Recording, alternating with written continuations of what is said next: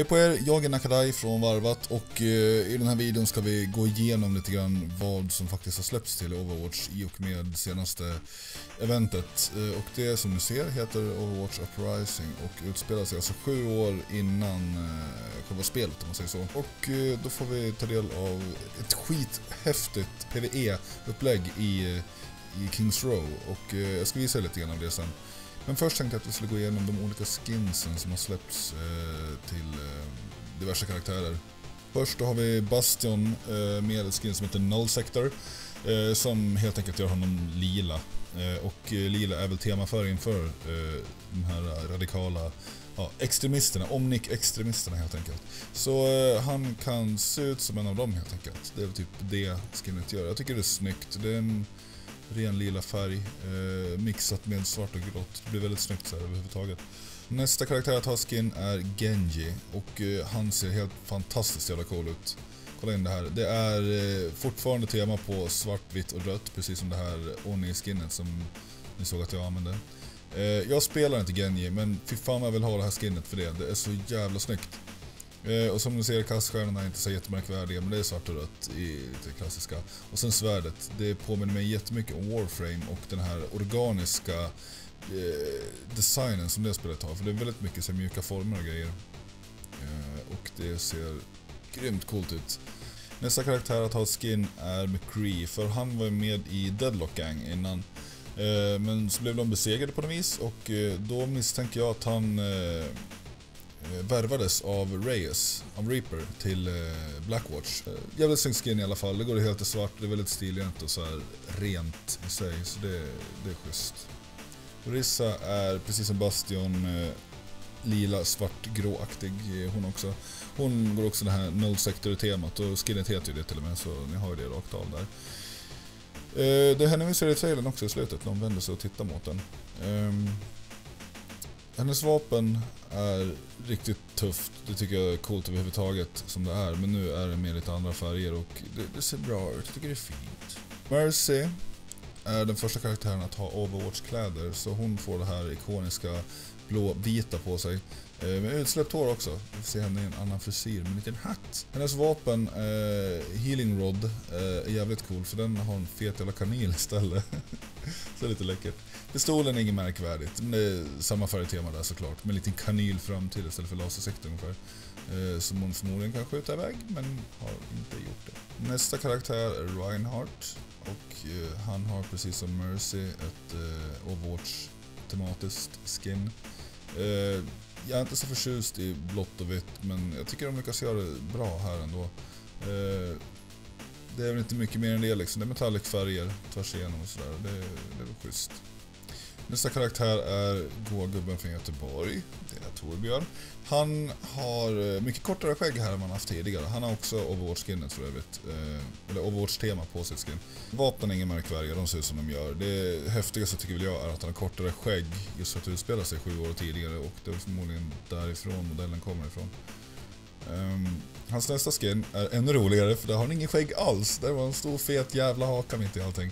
Riktigt stubb.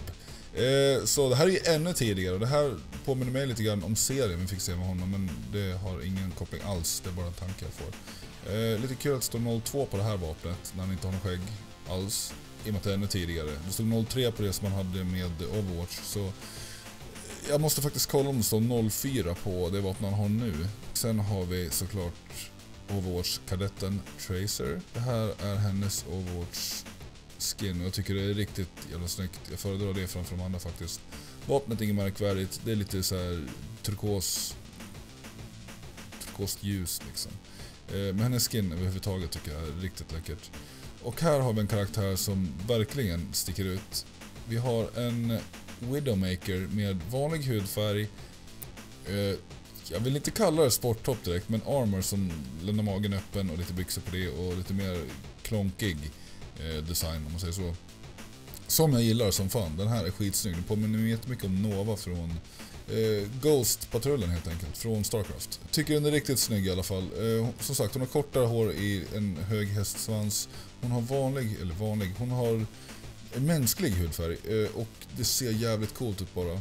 Hennes vapen är eh, också i eh, svartvitt och rött, fast mer fokus på vitt. Och det är väldigt stilrent just när det blir det svartvita som dominerar. Det har även släppts en update eh, idag, tisdag, eh, som låter oss läsa lite grann om eh, de olika karaktärerna som ni kan se när ni går in i, när ni klickar på skins, inte går in där utan ni kan klicka där bara, eh, så kommer ni se att det står små beskrivningar på eh, karaktärerna under, eller längst till höger istället.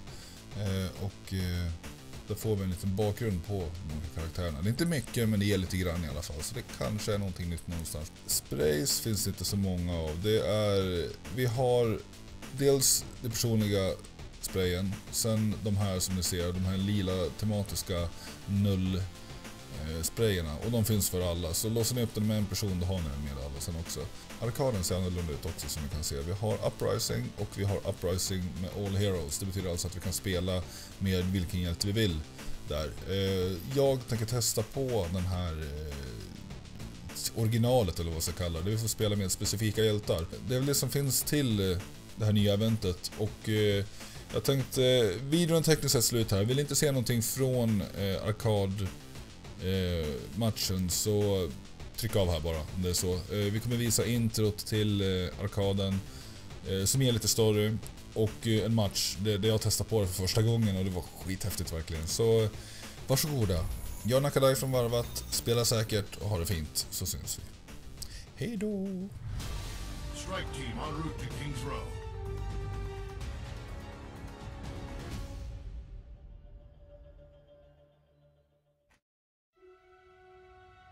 Twenty years after we won the war against the Omnics, we were no closer to living together in peace.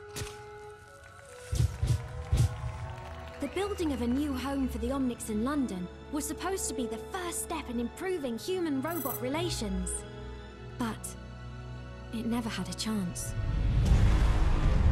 The Omnic extremist group, Null Sector, launched a surprise attack on King's Row. Hundreds were killed, and thousands more were displaced as they took control. Now, they are hunting down the last of the survivors. It could be the beginning of a new war between humans and Omnics. Unless we can stop them. Commander Morrison has sent our strike team to liberate the city. It's my first mission, and the only way to save my home. I hope we're not too late. This is Morrison. Your mission is to liberate King's Row. I'm counting on you, Lieutenant. Get this done. Good luck out there, agents.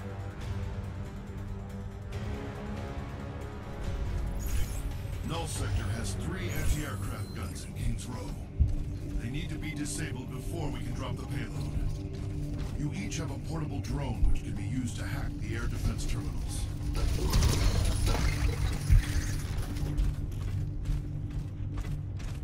Captain Amari. The first air defense node is right around the corner. And Reinhardt, don't charge in there on your own. Couldn't dream of it, Captain! Beginning the hack. Stay near the terminal while it's in progress.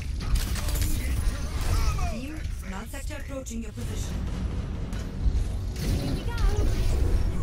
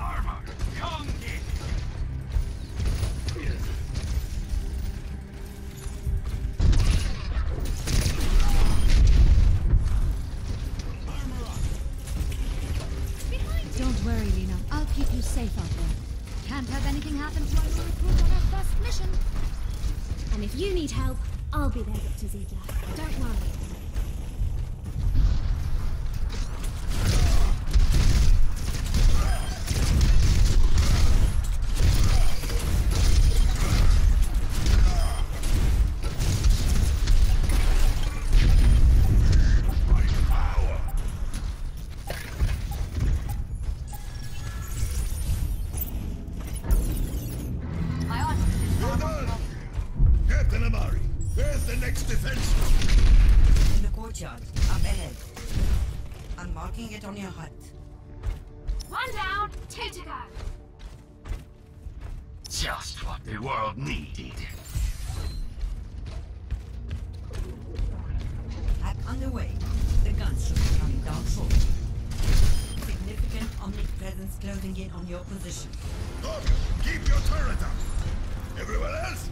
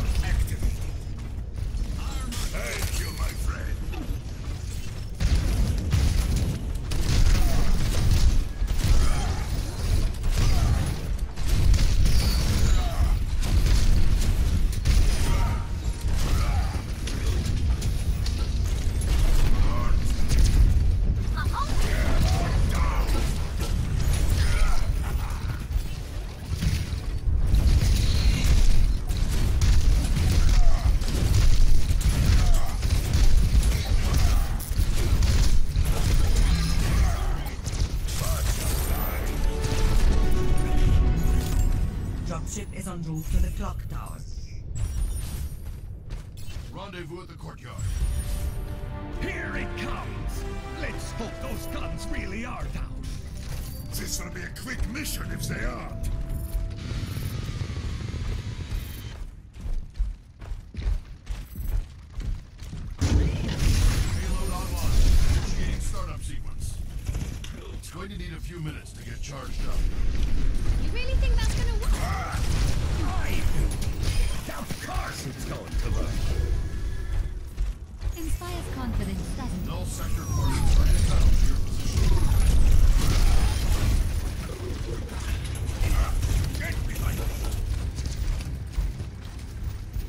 for the slices.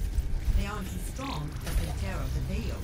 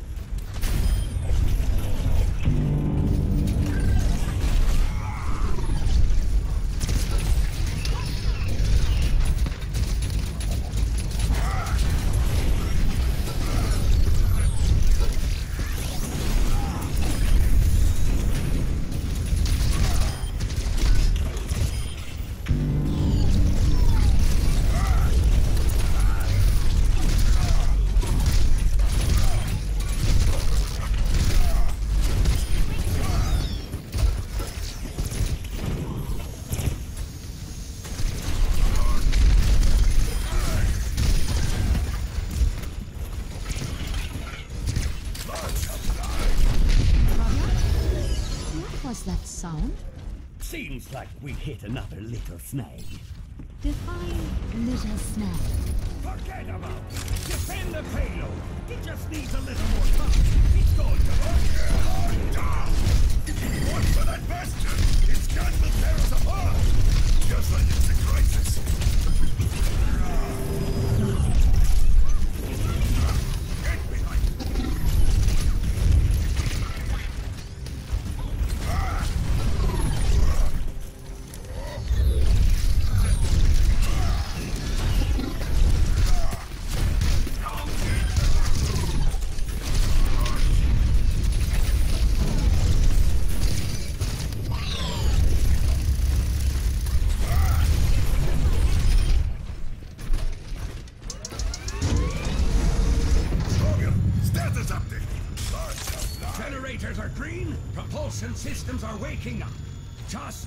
bit long.